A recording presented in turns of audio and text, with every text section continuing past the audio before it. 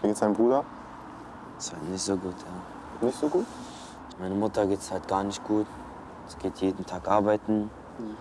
Aber mein Vater verspielt alles.